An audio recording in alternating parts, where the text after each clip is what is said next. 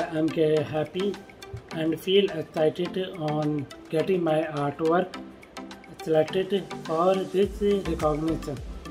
I would like to thank you Byju's team from the core of my heart.